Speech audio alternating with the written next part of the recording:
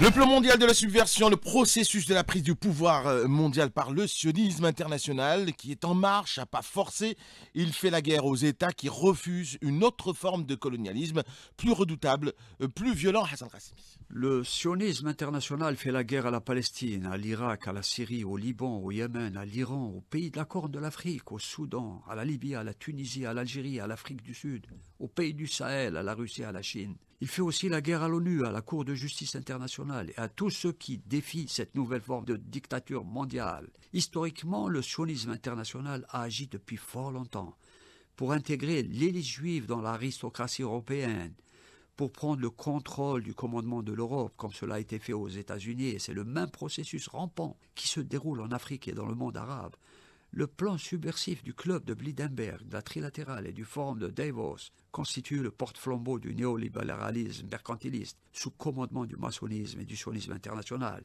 Ce qui est remarquable et par inaperçu, c'est que le plan de subversion de la trilatérale et du forum de Davos vise aussi l'Europe en l'inondant d'une migration massive pour casser les syndicats de la classe ouvrière européenne. Le capital mercantiliste international vise à transférer vers l'économie occidentale une main-d'œuvre étrangère malléable et corvéable à merci, sans statut et sans droit.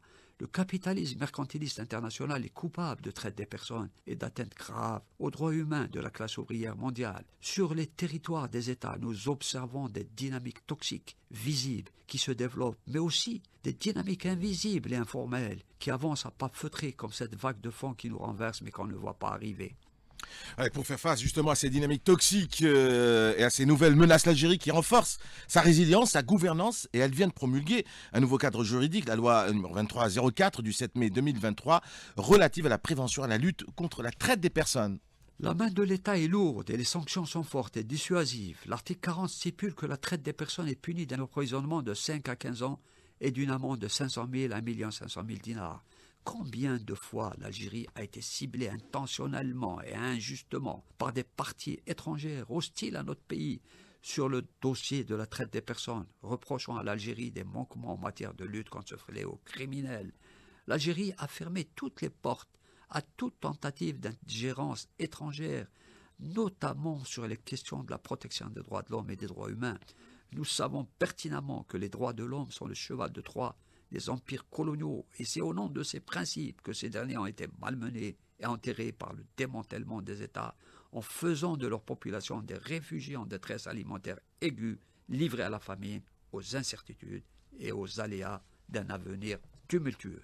L'Algérie, donc, qui se prémunit, qui se protège contre ces évolutions machiavéliques sur le plan international, devant installer le marché de l'emploi informel illicite de la main-d'œuvre étrangère qui n'est rien d'autre qu'une nouvelle forme d'esclavage et de traite des personnes. Les pouvoirs publics ont pris des mesures énergiques pour contrecarrer de telles évolutions en vue d'éradiquer le marché illicite de l'emploi de migrants étrangers sur le territoire national. Le marché illicite de la mendicité des enfants nigériens en Algérie constitue aussi un créneau juteux des réseaux criminels nigériens. Cela fait partie de cette volonté de vouloir transférer sur le territoire national les réseaux de la criminalité transfrontalière et du banditisme. Les réseaux de traite des personnes spécialisées dans la mendicité des enfants sont aussi installés dans plusieurs pays en Afrique. Le Burkina Faso vient de prendre une mesure radicale pour expulser ces milliers d'enfants nigériens qui pratiquent la mendicité dans les villes du Burkina Faso.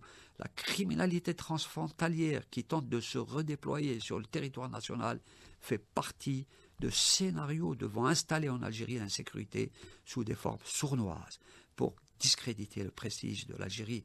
Toutes les crises économiques, voire même les nouvelles pandémies sanitaires, les guerres par procuration, les crises sur commande, ne sont rien d'autre que cette triple volonté de vouloir affaiblir les États, encourager l'enrichissement du capital international et appauvrir encore plus les populations mondiales en l'envoyant à l'abattoir, pieds et poings liés, Merci. à. Hassan Kassimi, nous aider à comprendre un petit peu les défis, les enjeux et l'actualité du moment. Il est 7h47.